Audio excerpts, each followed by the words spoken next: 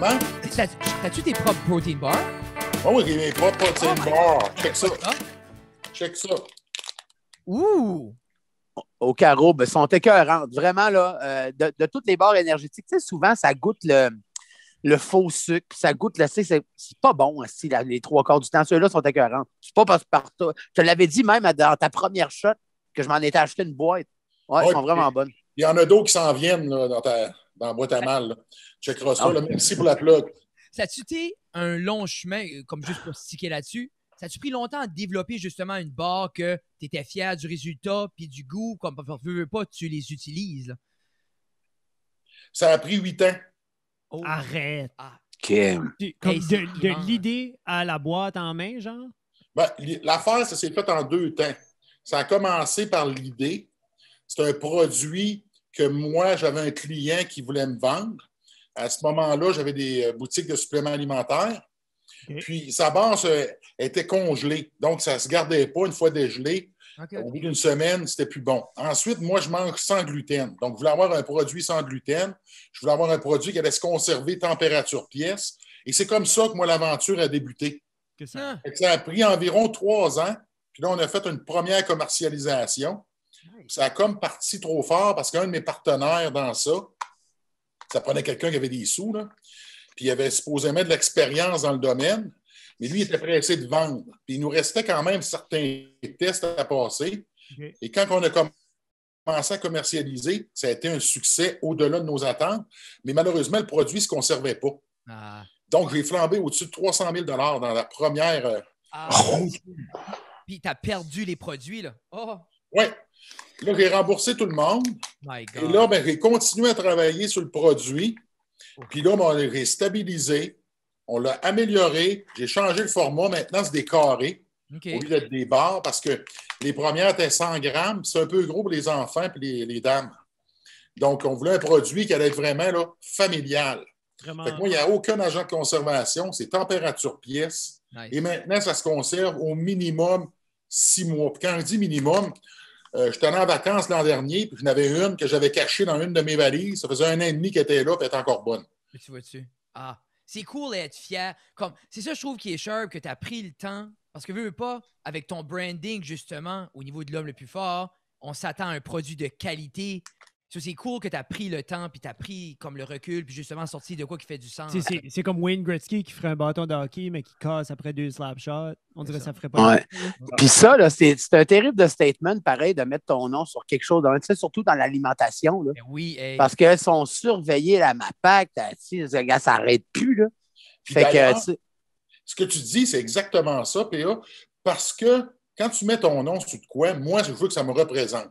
c'est ça. Donc, C'est je, ça. je pense qu'à quelque part, je représente du professionnalisme, quelqu'un d'intègre, quelqu'un de transparent. J'ai des valeurs, puis je veux qu'un produit me ressemble. Donc, pour moi, s'il y a 12 grammes de protéines décrits sur la barre, il y a 12 grammes. de- grammes, c'est ça. Donc, ça, c'est des- c'est drôle parce que quand tu arrives dans le domaine, puis tu vas pour vendre ton produit, bien là, les gens comparent avec la compétition. Oui. Puis là, à un moment donné, il me dit Ouais, mais là, tes barres ont moins de protéines. Ben, j'ai dit Je peux faire comme les autres. Je peux en marquer plus. mais elle ne sera pas dedans. J'ai dit Moi, je ne peux pas faire ça parce que c'est mon nom qui est sur le produit. Fait que moi, je ne pourrais ça. pas changer de nom. Si quelqu'un fait analyser, il va venir dire Hey, Hugo, tes barres, ils n'ont pas ce que tu dis dedans. C'est moi, ultimement. C'est moi qui donne la crédibilité au produit. J'ai Comme... fait des tests. Quand je te dis que ça a pris du temps, là, Hey. j'ai engagé un chef qui travaille avec les grosses compagnies en alimentation pour aller établir le protocole de fabrication d'une recette. Mettons une soupe pour euh, Campbell. Mais lui, il fait la soupe, il établit le protocole, il va en usine, il lui montre comment faire. Après ça, Chambaille est parti. J'ai engagé un gars comme ça. Moi, la barre à 12 grammes, c'est parce qu'elle est bonne. Ah, que- J'aurais aimé ça d'en avoir plus, mais la barre, je ne la fais pas pour Hugo Girard, je la fais pour tout le monde. Non, mais c'est Parce qu'à partir de 15 grammes, la barre, elle commence à être sableuse. Mais c'est ça. faut mettre de la à protéine à partir quelque de- part. Là, tu sais. 10 grammes, c'est un téléphone. C'est dur, dur, dur comme une roche. Donc, quand je vois un produit qui dit qu'il y a 20 grammes de protéines dedans, ben, ça me fait rire parce que euh, c'est pratiquement impossible. Mais c'est ça, 20 grammes, c'est tout, parfait la texture. T'es comme non, c'est impossible que tu fais. Non. non, non, non. non. Mais Impossible. puis en même temps, comme tu dis, quand ça vient à ton nom, exemple, une compagnie comme Cliff Bar, si je suis fâché, là, je peux chercher pour Cliff, je le trouverai pas, là. OK? Et, Non. Hugo, Moi, là, tu risques de me trouver. non, mais c'est ça, veux, veux pas comme. Non, non, puis surtout, il y a sûrement des athlètes québécois qui vont être fiers de manger tes Ouais, produits. mais ça reste qu'il faut que tu ailles voir Hugo. Non, mais c'est ça. comme- ça. Dans ma tête, j'étais comme. Des fois, j'aimerais pas plus le trouver non pas plus. trouver Hugo non plus. là. C'est ça. Surtout quand c'était fâché. Là. Non, mais j'aime- j'aimerais voir quelqu'un qui arrive. Veux-tu starter? Oui, on va juste faire l'intro. Ben vas-y. Euh, alors, mesdames et messieurs, bienvenue à Ça reste dans la cave, épisode 154. Et euh, cette semaine, on est honoré, bien sûr, de recevoir deux icônes québécoises. Mesdames et messieurs, bien sûr, euh, Monsieur P.A. Méthode et Monsieur Hugo Girard. Girard. Ouais! Eh ouais, bravo. Là, ça, ça fait fake, fait l'intro après que ça fait 20 minutes qu'on se parle. Ben, ça, ça faisait 15 minutes avant. 5 minutes, là, on parlait des bars à Hugo. Puis là, on a fait de l'intro. Oui. Et Mais- premièrement, mais- les boys, un gros, gros, Oui. gros, gros merci de prendre de votre temps pour être avec nous ce soir. C'est It means a lot. Pour vrai, là, on est. Ah, ben, enjoy. Nous autres, qu'est-ce qui arrive, c'est qu'on est dans le système d'éducation au Nouveau-Brunswick, dans le Nord-Est. Puis on a été annoncé comme deux semaines passées que vous alliez être de passage de façon euh, électronique, de façon comme, un peu comme qu'on se parle tout de suite. Puis là, j'ai eu l'idée, Frédéric a eu l'idée, on s'est parlé, on a eu la même idée. On a trouvé l'agence, on a envoyé un courriel, on vous a invité sur le podcast, puis vous êtes là. Et voilà. Nous autres, C'est- c'est magique. Vraiment, c'est que la curiosité derrière ça, c'est pas juste parce qu'on veut du monde, c'est parce qu'on on essaie de comprendre un petit peu la dynamique euh, de Hugo et PA. Pas PA tout seul, pas Hugo tout seul. On sait que vous avez vos propres, vous avez vos, vos forces. J'essaie de voir si zoom, là, les carrés, là, je ne cache pas. Mais on essaie de voir un petit peu qu'est-ce qui, qu'est-ce qui vous jumelle. Ou peut-être, si on a mal compris que c'est un après l'autre, puis vous n'avez pas rapport non plus. là. C'est ça. c'est ça. Ben, podcast. Non, non, non. Mais c'est, j'aime que, comme, c'est cool que vous, quand tu parlais un peu de, que ça fait depuis les années 90 que vous vous connaissez, en même temps, Ouais. comme tu dis, deux gars avec des parcours si différents, mais vous semblez avoir une relation, comme quand même, une bonne relation ensemble. C'est quand même intéressant, là. Ouais, ben, un, on s'est connus il y a longtemps. Puis deux, ben, on a traversé un paquet d'affaires. Tu sais, mon gérant Hugo, euh, mon gérant Hugo, pas Hugo, mon gérant, mais mon gérant Steve était policier comme Hugo. Il se connaissait aussi. Euh, il s'est occupé d'Hugo aussi, puis encore aujourd'hui pour un paquet de trucs. Fait que ça, on a, on a tout le temps virevolté autour, un peu des mêmes personnes. Puis, euh, puis on se croisait sporadiquement de même, mais ça a tout le temps, on tout le temps été funné, chumé. Puis euh, quand tu as fait deux heures de char avec Hugo, là, pour le reste de ta vie, tu ne peux plus jamais oublier ça. Mais avez-vous, avez-vous déjà collaboré sur un projet? Ensemble? Ça s'est déjà arrivé durant votre carrière qu'on vous avez fait de quoi ensemble? Euh, PA, il est venu donner un, un mini-spectacle dans le cadre de. Oh, Je donnais le. On avait construit ce qu'on appelait la Coupe du Québec des hommes forts. À la fin, on faisait un, un banquet, un gala. Puis PA, il est venu donner un mini-spectacle lors du gala. Puis euh, c'était drôle parce que PA, ben, il a la, la répartie très facile. Puis là, ben, il a embarqué sur un gars de 450 livres. là. Euh, il cherchait PA à la fin, à la fin de son spectacle. J'ai encore mal à l'épaule. Il m'avait mis la main sur l'épaule. Il voulait me détruire. Il voulait me, il voulait me- c'est ça, il voulait me manger. Ça doit être tough faire du crowd work d'une compétition d'hommes forts. Ouais. Mais moi aussi, euh, j'ai quelque chose euh, avec Hugo. C'est qu'Hugo a participé à, à mes galas aussi, au Comédia, euh, entre autres en robe, en robe de bal. Oui, ça, je me rappelle de ça. J'avais vu ça. Ouais. C'était super. Mais euh, tu sais, on n'a pas souvent la chance de participer à des, à des trucs, mais tu sais, ça va arriver, puis on va, on va se recroiser. Mais sinon, euh, on est tout le temps content de se voir, en tout cas. Oh oui, c'est une amitié qui date euh, dans le temps que je travaillais dans les bars et que PA venait veiller au bar. Mm. Euh, ça ne nous rajeunit pas. Là. Quand on parle de ça et qu'on recule, là, 90. Ouais. ouais, 89, 90. Quand on pense comme. Parce que vous avez un peu les deux débuté dans les bars. Hugo, en tant que. Je, je présume que tu étais, bouncer, Hugo? Comment ça, t'as pas dit que j'étais barman? J'étais- tu vois-tu, je le sais. J'allais. Il était pole dancer. Euh, trois- 365 Pabineau Falls Road. J'ai pris, une- pris une guess, Hugo. Non, non, c'est effectivement, j'étais portier. Ce qui est Ah. drôle, j'avais été appliqué dans un bar pour être barman, puis le gars par- parti à rire, il dit Je t'engage comme portier. C'est c'est drôle parce que j'avais écouté un podcast que tu avais fait, je pense avec euh, Big Laws, que j'ai vu ça, je me sens j'ai vu ça mois d'octobre, que j'ai checké ça. Puis j'ai été le revisiter. En tout cas, tu parlais de devenir acteur, tu parlais de faire, tu que tu, tu cherchais des films ou tu cherchais ces choses-là. Puis je me dis, as-tu as-tu une crainte d'être typecasté, un peu comme que Frédéric a fait là, que tu es le Jack, tu es l'homme fort, un, petit peu comme Halftor Bjornsson, c'est le, le, ce king-là? Ça, en partie, oui et non. Dans le sens que si on t'offre de quoi qui va me placer dans cette position-là, ben, tu es libre de dire non. J'aime autant passer à côté d'une occasion de jouer dans un film si j'aurais pas j'aurais pas un rôle qui va m'aider à me faire valoir. Parce que si tu me prends parce que je suis gros, ben, tu peux prendre n'importe quel gros gars pour faire ce job-là. C'est pas ça que je veux. Puis où, ce que je, où ça va être payant, c'est d'avoir ce break-là. Puis dans la vie, là, je vais être honnête avec toi, là, euh, si c'est pour arriver, ça va arriver. Ce que je fais, euh, je prends des cours, je fais ce que j'ai à faire pour me préparer à la journée que l'occasion va se présenter, que je sois capable de le faire. Parce que quand le train passe, si tu n'as pas le billet pour embarquer dessus, là, peut-être qu'il ne repassera jamais. Il ne faut pas que tu hein, C'est la même chose en humour, c'est la même chose dans tout ce que tu fais. Mm. Donc, pour moi, j'ai eu des occasions de jouer dans des films, puis je ne l'ai pas fait parce que ce n'était pas ça que je voulais. Parce que je ne veux pas justement être placé dans un carcan où ce que, OK, Hugo va jouer le gros gars. C'est bien, euh, tu peux être un gros gars, peut être un plombier. Tu peux être un, un gros bonhomme, peut être un policier, peut être un conducteur de, de taxi. Tu peux être n'importe quoi parce que finalement, c'est exactement ça que j'ai fait toute ma vie. Bien, je suis père de famille, j'ai été policier. Donc, mon gabarit m'a jamais empêché d'avancer. Il faut que je change la vision des gens pour qu'ils commencent à me regarder différemment et qu'ils se disent Ah ouais, on n'avait pas pensé à ça. On ne penserait pas à Hugo parce que les, on vit dans une société où ce qu'on est catégorisé. Oui. Donc, euh, quand tu sors du moule, là, euh, on a discuté à voir où est-ce que tu vas fitter. Puis moi, ben, l'inconfort, c'est ma zone de confort parce que j'ai toujours été différent. Puis je pense que je ne me trompe pas en disant que PA, toi aussi, à ta manière, ça a été un petit peu ça. Puis finalement, on prend ça, on s'adapte, puis tu tires avantage des, de ces outils-là. Ben, moi, à partir du moment où j'ai commencé à accepter que j'étais différent, les choses ont changé. Parce qu'avant, j'essayais de faire comme les autres. Mais ben, c'est plate, là, mais quand tu n'es pas un canard, même si tu essaies de voler comme un canard ou de nager comme un canard, mais ben, si tu n'en es pas un, tu ne seras pas. Là. Non.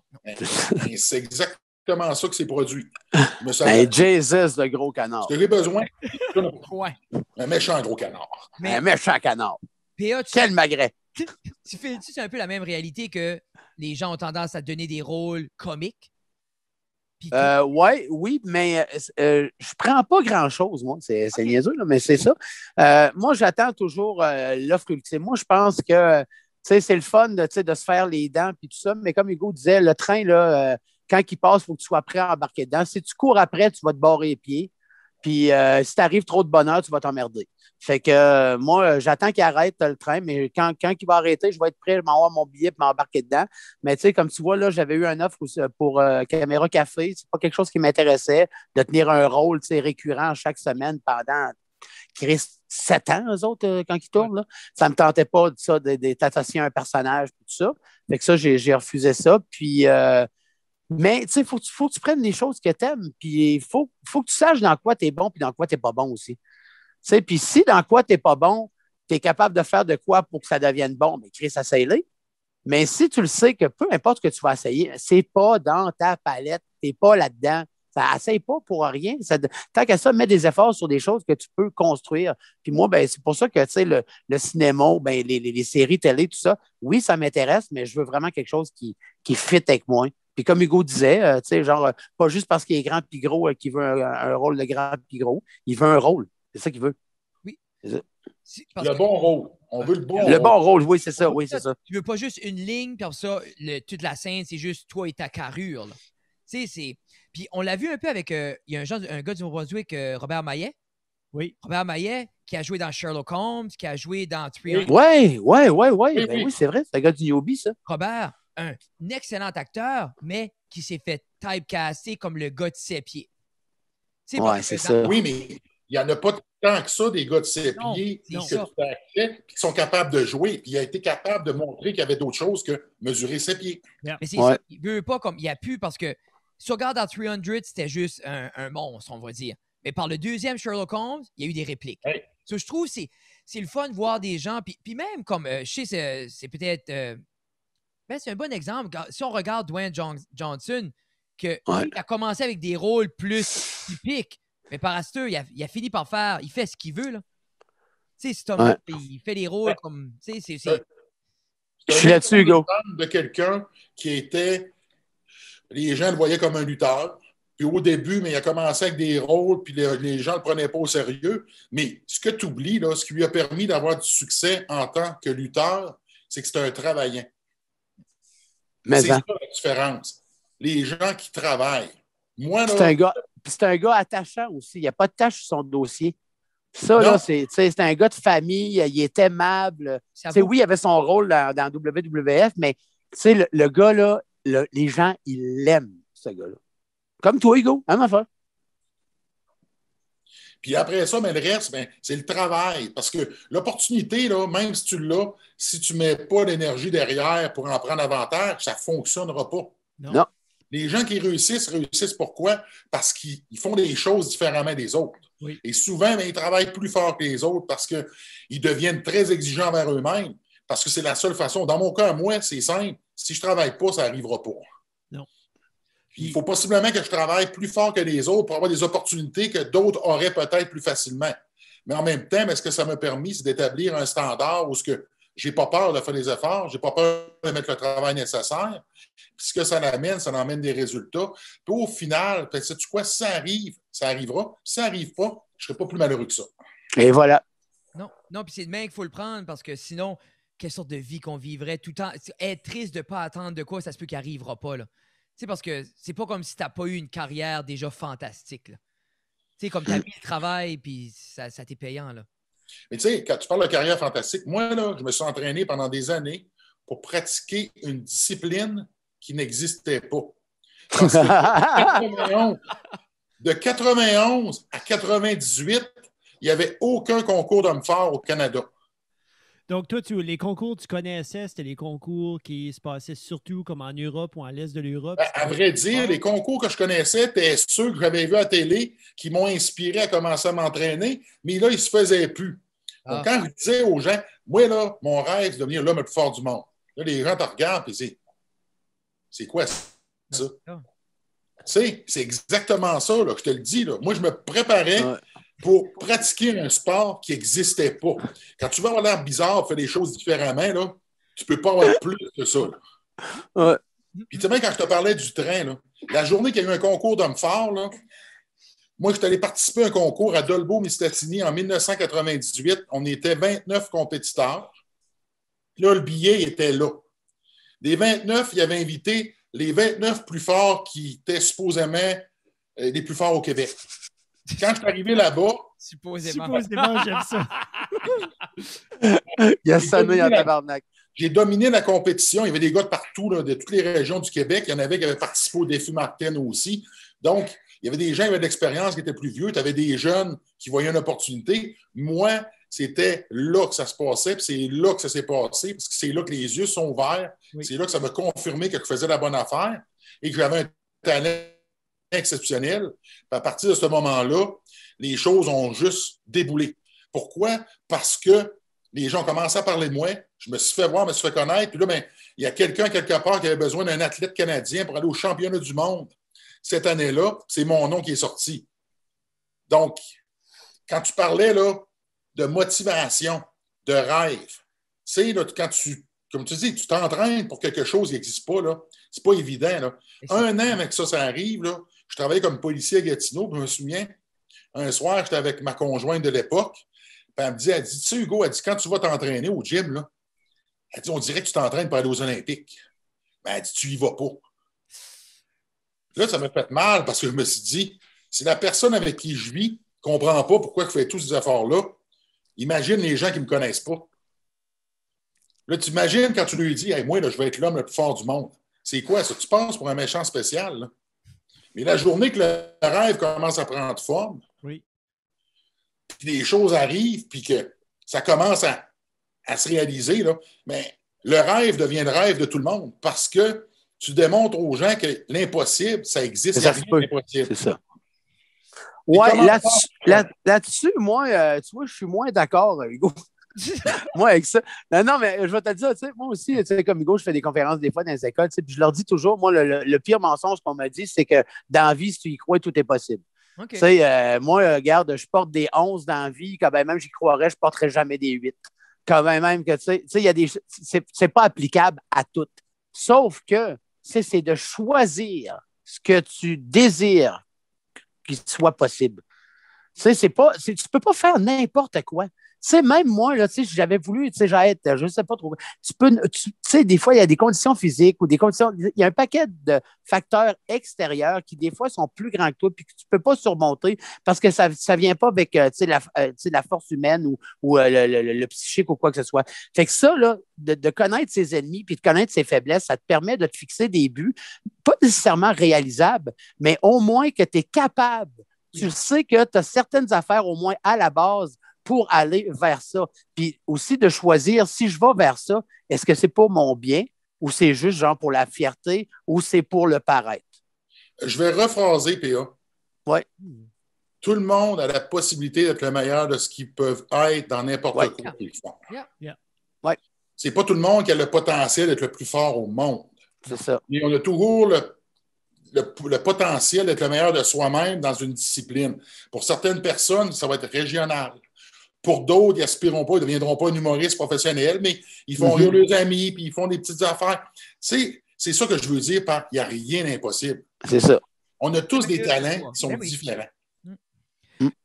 les, les, euh, parce que là, on parle un peu justement d'un peu dans, on parle un peu de vos conférences, puis les conférences que vous faites avec les jeunes, puis je me demande à chacun un peu euh, votre manière, c'est qu'est-ce qui vous a poussé de prendre ce message-là, parce que veux, veux pas, PA, tu disais déjà un message sur scène, oui, avec l'humour, mais qu'est-ce Mhm. qui vous a poussé à structurer ça, puis vouloir aller justement dans les écoles avec les adultes, plus comme, pas un ton sérieux, mais plus structuré vers justement la motivation, puis tout ça?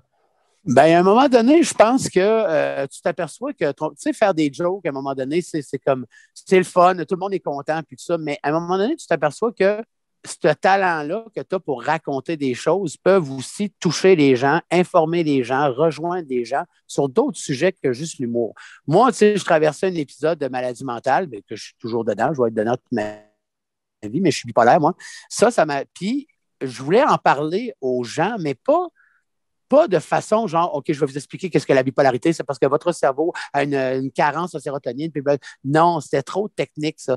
Mais tu vois, le talent que j'avais pour raconter des choses, le talent que j'avais pour compter des jokes, venait me donner euh, tu sais, euh, des outils exceptionnels pour euh, porter un message. Puis c'est à partir de ce moment-là que j'ai fait, OK, je suis capable de parler devant le monde, puis je ne suis pas juste un clown.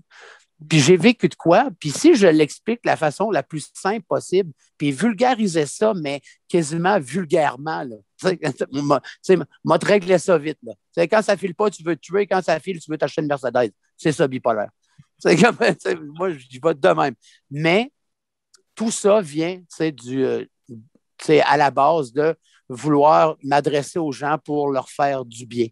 Tu sais, fait que moi, je leur faisais du bien en les faisant rire, ça me faisait du bien à moi aussi. Je me suis aperçu quand je partageais ma vie que ça faisait du bien aux gens qui l'entendaient, puis ça me faisait du bien aussi à moi. Fait que, tout ça en- en- ensemble fait que euh, tu t'aperçois que, d'être rassembleur, ça, ça, a aussi des... euh, tu tu, leur dois quelque chose aux gens qui t'écoutent. Ces gens-là prennent le temps de t'écouter, prennent le temps, de, de mettre leurs émotions un petit peu euh, ouvertes, tu sais, puis t'écouter, puis tu sais, de recevoir ça, puis tout ça. Fait que tu leur dois quelque chose. Il y a un respect qu'il faut, tu sais, pour pas peut-être leur garocher de la shit, là, tu sais, puis n'importe quoi, juste pour aller chercher ton chèque puis t'en aller. Tu as une responsabilité. Puis dans les jokes aussi, tu as une responsabilité. Les gens, ils se sont déplacés, ils ont réservé une soirée, ils ont payé des billets. Fait que moi, tu sais, je suis très reconnaissant de, ma vie parce que c'est les gens qui m'ont emmené cette vie-là. Puis, euh, fait que je pense que la motivation première, moi, c'est de. Puis il y a un désir de ne pas décevoir aussi. tu euh, Je, je fais peut-être plus attention que beaucoup d'autres artistes.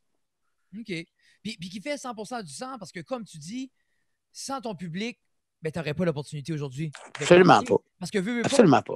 ces stabilités-là de pousser de l'information qui a fait, t'as fait de l'humour, que tu as gagné en popularité, que maintenant les gens vont te voir et respectent Mhm. ce que tu dis, qu'importe.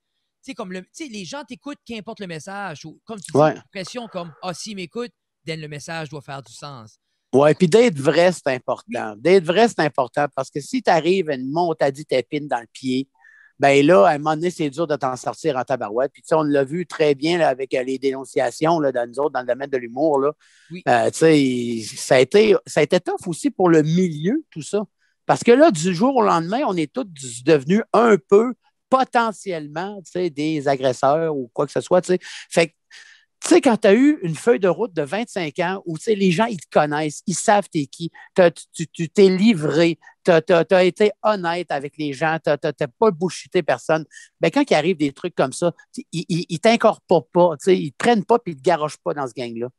Tu sais, Puis ça, c'est important aussi, tu sais, c'est de garder son nom. C'est important, son nom. Tu sais, C'est pas parce que tu es connu que tu as le droit de tout dire, c'est pas parce que tu es connu que tu as le droit de tout faire. Tu sais, euh, rasse-toi, man, des fois, là, c'est important de se rassir des fois. Surtout, il y a plusieurs gens qui gardent les actions des gens connus. Puis que ce soit nos jeunes, que ce soit nous. Puis moi, exemple, j'ai beaucoup d'idoles dans la vie. Mais moi, je regarde ces gens-là. Puis des fois, je prends des décisions par rapport à leur lead à eux, comme parce que je les admire. Mais si ces Mhm. gars-là, justement, comme tu dis, seraient juste des mangeux de mort, puis je dirais n'importe quoi, mais peut-être j'aurais forgé mon caractère à être de même, puis je serais une mauvaise personne. C'est Mhm. pas des gens un peu euh, qui veulent être toi-même, être une bonne personne, puis qu'importe s'ils vendent moins de billets. T'es pas la Puis meilleure Hugo, non plus, Frédéric. là. ouais, puis Hugo peut te le dire, tout tient un fil. hein. Tout tient un fil. Moi, mett- mettons, là, moi puis Hugo, demain, on est en train, on est chez Starbucks en train de prendre un café. Puis il y a quelqu'un qui est à côté de nous autres, puis entre nous autres, je dis pas que c'est ça qu'on se dirait normalement, là, mais on se dit juste là, euh, c'est fif. Je On peut perdre nos deux carrières drettes là. C'est fini. Drette Là. là, terminé. C'est parce qu'il y a quelqu'un qui l'a entendu. Réseaux sociaux, telle affaire, blablabla, ça se ramasse à une autre place. Blablabla, ça n'arrête plus à un moment donné. Fait que, tu sais, il faut que tu prévois ça aussi. Tu sais, je- tu sais, dans le livre L'art de la guerre, là, tu sais, ils disent ça, tu sais, de- ton, ton pire ennemi, il faut que tu saches tout de lui. C'est toi. Il faut que tu saches tout de lui. Tu sais, prévois tout le temps le meilleur puis le pire, tout le temps. Fait comme ça, ben, tu n'as pas de surprise quand tu arrives au bout, puis tu peux avoir des belles carrières, puis un respect, quand même, un respect. On va dire pour ceux qui nous respectent, parce que quand ils ne nous respectent pas, ils ne nous respectent pas solide. là. Mais, euh, mais sinon, tu sais, moi, euh, je- moi, j'ai pas de tâche pour mon dossier, j'ai rien à me reprocher, puis je suis bien heureux. Puis ça, ben, ça a amené que le fait que je vends des billets. Tu as vu, pour moi, la motivation, là, ça a été vraiment, quand j'étais jeune, je me faisais dire que je ne serais pas capable de faire telle chose. Ah, ouais. Je me faisais dire que je n'étais pas bon, que même j'étais plus gros, donc tu n'es pas intelligent. Genre de choses que tu te fais décourager plutôt qu'encourager. Hein? Des claques dans le dos, je n'ai pas eu beaucoup. Donc, pour moi, maintenant, mais, j'aurais aimé ça que quelqu'un fasse, vienne nous rencontrer pour nous donner ce, messa- ce message-là. Pour te Mm. dire, justement, non, non, tu es capable. Oui, tu es différent, c'est pas grave d'être différent, c'est un atout. Fait que pour moi, c'est une obligation de le faire. C'est de démontrer aux gens que finalement, c'est nous qui imposons nos propres limites. Absolument. Sais, Puis ma carte de visite, pour moi, c'est mon intégrité, la manière dont je fais les choses, parce que c'est comme ça que j'ai réussi à me bâtir une réputation. Ce que j'ai, on ne me l'a pas donné. Il a fallu que je travaille à chaque étape. Fait qu'à Mm. quelque part, euh, les dénonciations, je ne suis pas différent des autres. Tu fais une réflexion, tu te demandes, hey, toi, y a-t-il quelque chose que je peux avoir fait? Là? Puis des fois, Moi tu peux aussi, j'ai fait ça. Et, on n'avait pas le choix, c'est un exercice qu'on devait faire parce que c'était mieux de prévenir que guérir. là. Yeah. Puis au final, ben, je me suis dit, mais je suis très à l'aise, je n'ai pas perdu une, nuit de- une minute de sommeil parce que j'étais très en paix avec moi-même. Moi. Parce que Je suis une bonne personne. Mais ce qui est dangereux, c'est que maintenant, il y a des interprétations, puis des fois, ben, des mensonges qui peuvent être dits, puis une fois que c'est parti, euh, c'est dur à défaire. Là. Hey, ben oui. Parce que je lisais, euh, je lisais un article dans le Devoir, justement, euh, euh, que je crois que tu as sharé aujourd'hui, PA, comme justement par Ouais. rapport ouais, à l'impact sur les médias sociaux. Puis il y avait comme six témoignages, il y avait toi, Safia Nolin, etc. Puis c'est. Mm. Veux, veux pas, justement, vous êtes des boys des 90s. Là. Cette chose-là n'existait pas. Puis En fait, c'est pas vrai. On ne la voyait pas. Oui, oui, OK, OK. Ça existait, ça existait. Ça existait des claques à gueule en arrière du rack à Bessic. Ça existait du monde qui passe chez vous là, tu sais, puis qui casse une vitre avec une roche. Ça existait, ça. Les vieux mon oncle cochon, ça existait aussi. Là. Ça existait aussi. Puis com- comment vous. Comme, parce que justement, je reviens à cet article- article-là, puis tu Ouais. parlé un peu de ton processus, que tu avais pris un certain recul. Par la suite, Mhm. tu avais revenu, puis tu avais dit ils vont se tanner de moi avant, comme quand tu avais revenu, puis plus comme je vais répondre avec humour, avec un peu sarcasme, pour justement Mhm. démontrer que ça devrait être ça. Ça devrait être un endroit qu'on peut plus s'amuser que se faire du tort. So, je me dis, Exactement. so, je me dis Mais euh, depuis l'apparition de l'article, j'ai eu à peu près 600 messages haineux. Ouf. c'est c'est ça qui est triste. Parce que moi, j'avais lu l'article, puis je- je- je suis C'est moi, là, les messages que je reçois depuis trois jours, c'est que tu mérites ça, puis arrête de brailler, euh, gros braillard, puis ci, puis ça. Non, non, non, puis c'est juste ça. J'étais un collaborateur du gouvernement, euh, j'étais un, un artiste subventionné, euh, un- euh, là, je vais être jugé au tribunal de Nuremberg pour crime contre l'humanité, je vais être pendu sur la place publique. Un paquet d'affaires. Tu vois Juste ça, parce que j'ai dit que j'étais tanné de la haine sur les réseaux sociaux, puis qu'à un moment donné, il faudrait que ça arrête. C'est juste ça que j'ai dit. Peux-tu- J'ai pas dit d'autre chose. L'article, moi, je voyais ça comme un rayon de lumière. Je voyais ça comme Mhm. un premier pas vers justement le fait que plusieurs artistes se mettent là puis expliquent. Puis tu vois-tu, le, le public, c'est- triste. C'est très triste.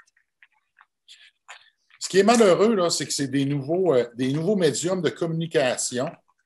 Puis j'ai comme l'impression qu'on ne sait pas comment les gérer et que les personnes qui sont en autorité pour le faire hésitent à le faire par peur d'eux-mêmes hein, de subir les contre-coups. À un moment donné, mais c'est ceux qui parlent, comme PA et d'autres, puis qui s'élèvent, qui font, ben, à un moment donné, on ne peut plus rien dire.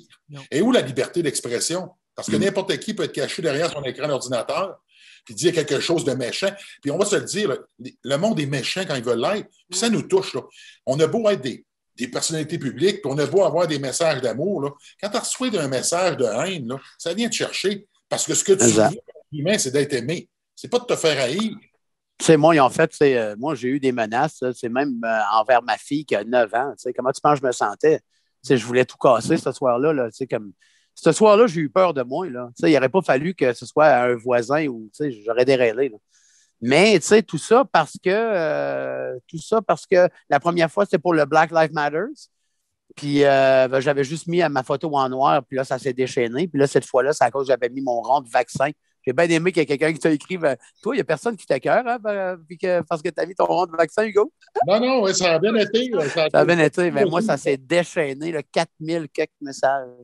Hey, ah, ah, ah. Tu sais, le pire dans tout ça, là, on, on va se le dire, tout le monde va finir par l'avoir, Non, mais c'est ça. no matter what. C'est Mm.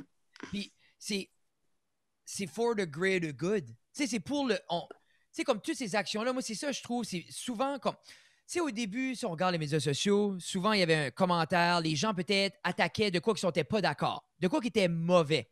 Mais là Ouais. ça découle, on dirait que chaque action a un bourreau maintenant. Mhm. Mais toi, quand tu as été te faire vacciner, c'est pour le bien de tous, c'est pour la sécurité de, de- de ta famille, pour retrouver une normalité dans nos vies. Ils ont quand même trouvé un bobo là-dedans. C'est ça, je trouve triste, qu'il n'y a plus de bonne manière. Tu as parfaitement raison. Je ne me suis pas fait vacciner pour moi. Je me suis fait vacciner parce que moi, je n'ai pas peur d'attraper la maladie. Mais si je l'attrape je la donne à quelqu'un qui, lui ou elle, ne sera pas en mesure de vivre avec puis de le combattre, ben, je me ramasse à être la personne qui va y avoir donné un virus qui peut possiblement la tuer. Je n'ai pas envie d'être cette personne-là. Donc, à un moment donné, il y a, il y a un côté qui, qui va au-delà de notre petite personne. On vit en Ben oui, ben oui, ben oui. Puis, c'est- puis moi, en plus, c'est moi, ça fait un an et demi que je n'ai pas vu ma mère. tu sais, euh, plus que ça, plus qu'un an et demi, je n'ai pas vu ma mère. À 85 ans. Euh, tu sais, moi, je suis cardiaque. tu sais, Fait c'était même pas. J'ai même pas eu besoin de réfléchir tant que ça. là. Je me suis informé sur ce qu'il fallait que je m'informe. Puis je pense être assez intelligent pour faire les bonnes recherches. tu sais, Parce que tout le monde dit fais tes recherches. Mais qu'est-ce que je les fais, mes recherches? Puis, euh, puis moi, euh, c'est un choix que j'assumais. Puis je pensais jamais starter un tollé avec ça. là. Jamais. C'est- ça qui est tough, parce que justement, tu sais, avant, on pouvait le voir, quelle action apporterait peut-être un débat. Mais là, on ne sait plus.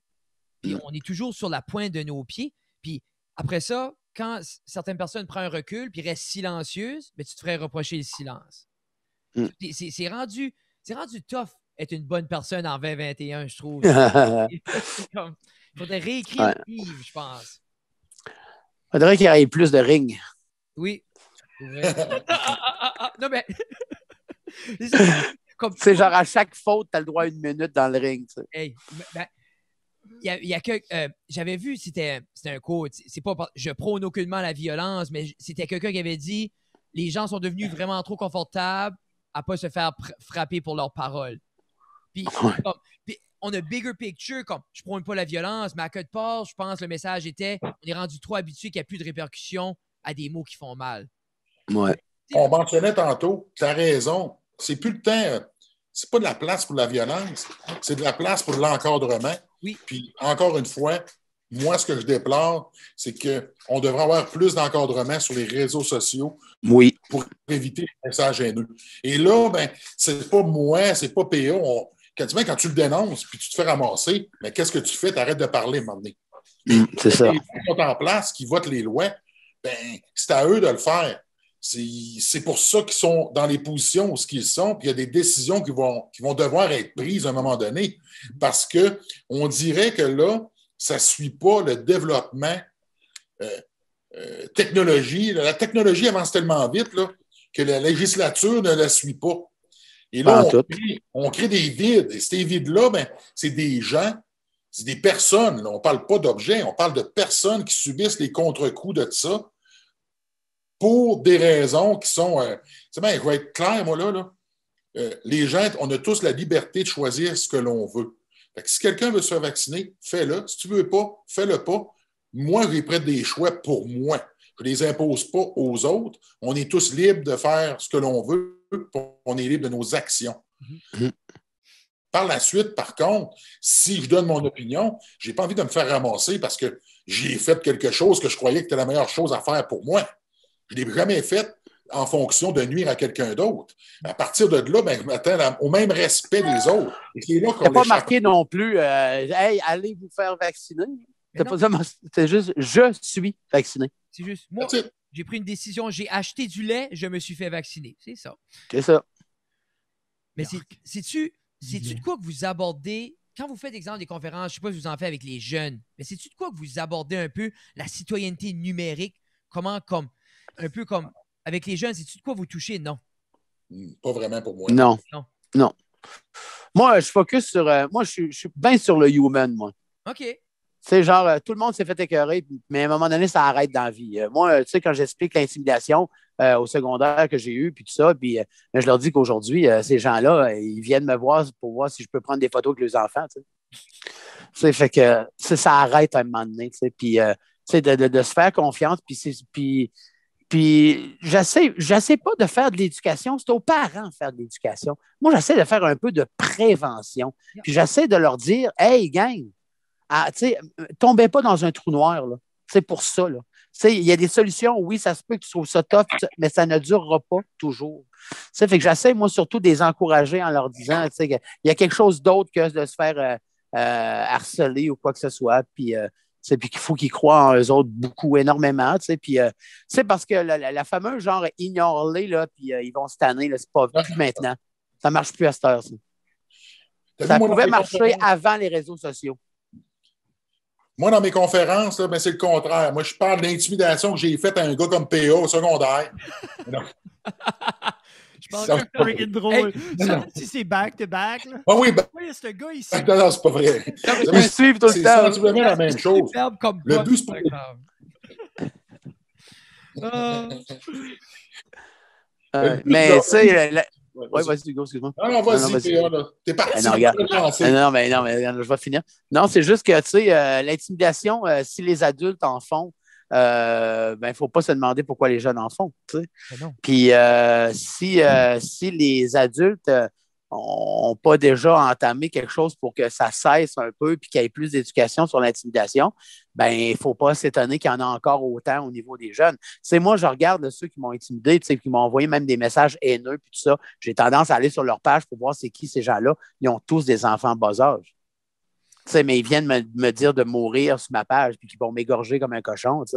Mais euh, ils ont des enfants à la maison, ces gens-là. Fait que il ne faut pas aller chercher loin non plus. Fait que faire de l'éducation at large, c'est déjà des gens qui sont un peu contre nous autres. Mais je trouve que chez les jeunes, il y a, une plus grande écoute de ce côté-là. Yeah. Fait que si ça commence par les jeunes, ça commence à mûrir là, ben peut-être qu'on va être capable d'en rejoindre un peu plus les adultes qui, eux autres, ont la couenne pas mal plus dure, sont plus réfractaires, sont plus révolutionnaires, sont, sont durs à aller chercher. Mais je ne pense pas qu'on a une mission d'aller les chercher.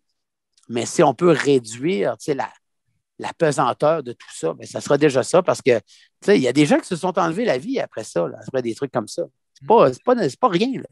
Puis en même temps, on va se le dire, l'intimidation, là, elle va rester. Là.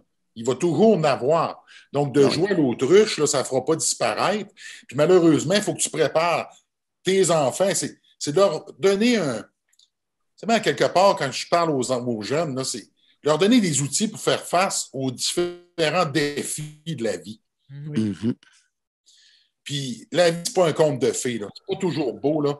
Puis de rendre ça beau, puis de ne pas les responsabiliser, là, c'est pas les aider non plus, L'intimidation, si tu n'en vis pas à l'école, parce que tu en vis pareil, même si on dit qu'il n'y en a pas, là, il va toujours en avoir. Ah, Donc, oui. tu n'as pas à la tolérer, tu n'as pas à la subir.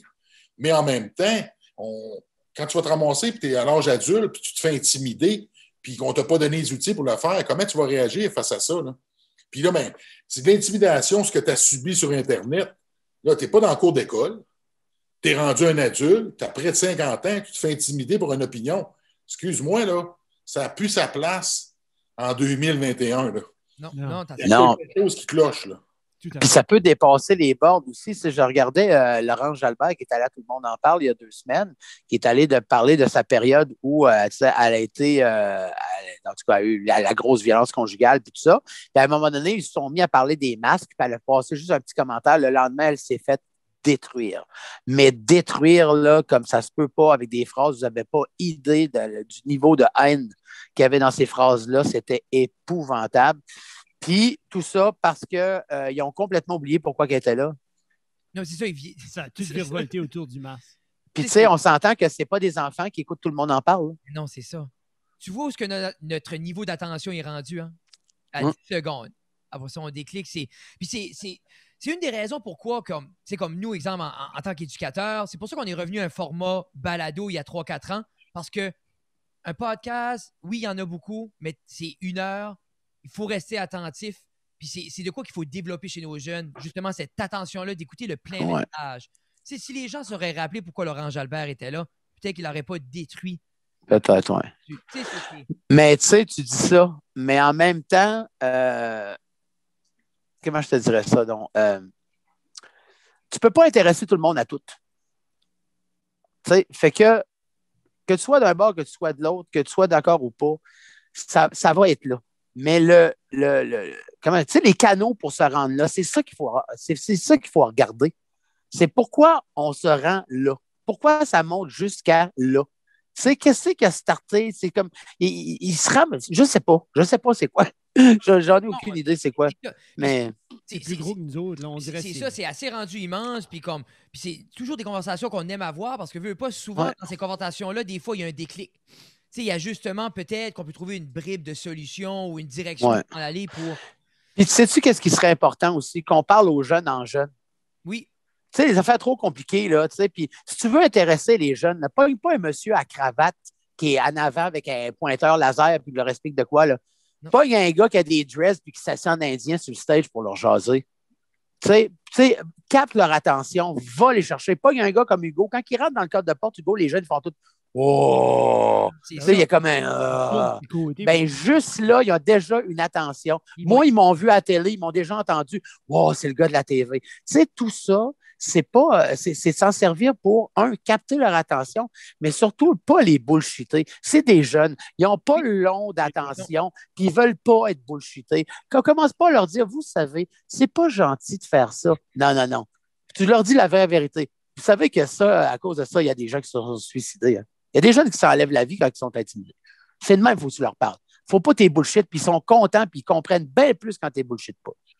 De toute façon, il faut que tu sois vrai, que tu dises les vraies choses. C'est pas compliqué. Les jeunes, là, vont le comprendre. C'est malheureux, mais on a l'impression que les jeunes n'ont pas nécessairement tous les outils et qu'ils ne sont pas capables de tout comprendre. Ils sont beaucoup plus allumés qu'on le pense.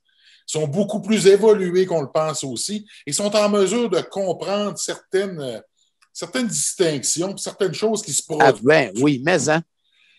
Donc, Puis, puis, puis- Quand on lui parle comme si c'était des enfants et qu'ils étaient ignorants, là, tu, perds leur- tu, tu perds ta crédibilité. Il faut que tu lui parles comment que c'est. Vous savez, ça m'est arrivé dans une conférence, un jeune qui intimidait les autres, puis il m'a posé une question, puis je l'ai senti dans sa question, puis je lui ai répondu comme j'aurais répondu à quelqu'un qui essaie de m'intimider.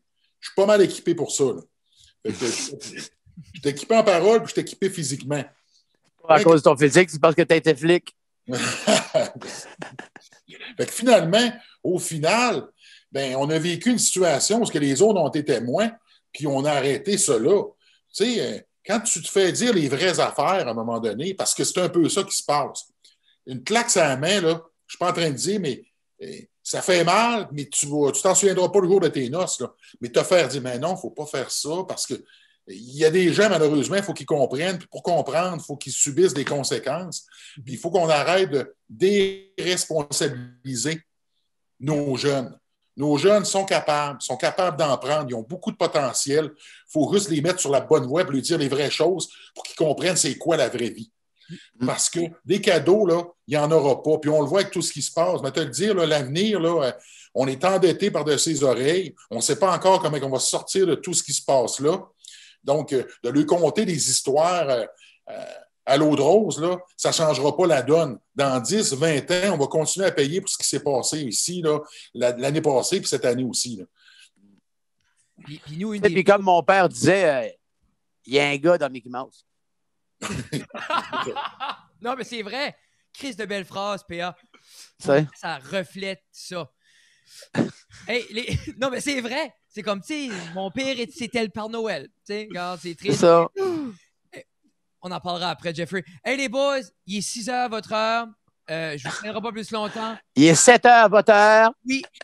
Euh, euh, il est 7 heures la vraie heure. il est 7 heures la vraie heure. Hey, les boys, La vraie gros, gros, La vraie heure. la vraie heure. Un gros, gros, gros merci pour vrai, là, comme, c'est ça qui est beau avec ça, c'est que ça a pris la tournure.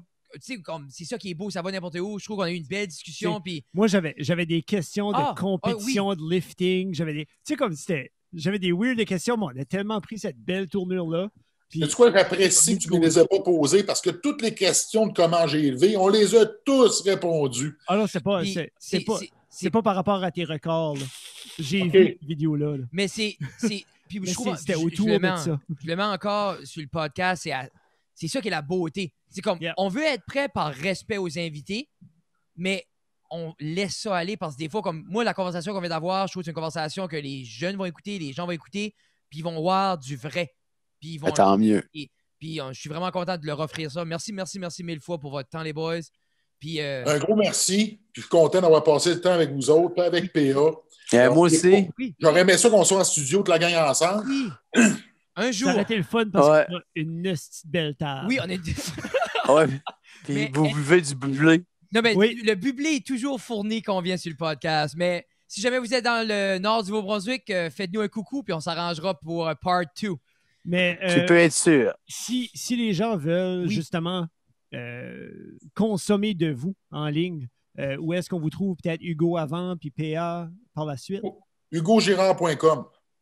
Tout est là. That's it. Il y a un chemin qui mène à Rome, c'est There celui-là. you go. Attaboy.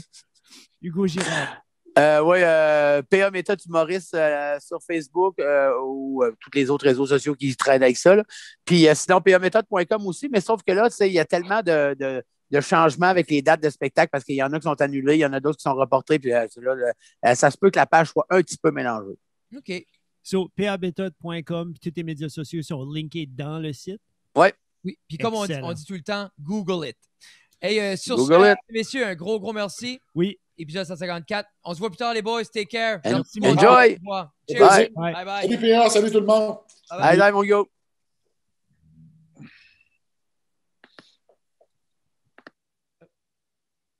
Je suis encore là, je, je, Chris, euh, je suis pas capable de raccrocher. Un gros thank you, PA.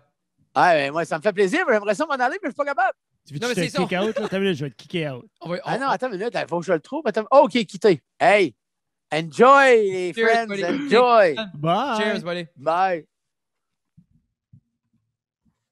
Mesdames et messieurs, épisode 154 euh, Oh. vous, a été, vous a été présenté par euh, nos sponsors qui, sont, qui rendent grâce à, nos, à notre podcast. C'est tout le temps intimidant, Jeffrey. Comme eux autres, là, comme j'avais des questions, puis c'est drôle parce que Hugo a dit Ouf, je suis content que tu n'as pas posé Non, mais des c'est questions ça de, qui commence à me faire weightlifting. peur. Mais c'est que j'ai- c'était pas des questions de Ah, je weightlifting. suis juste, c'était superbe.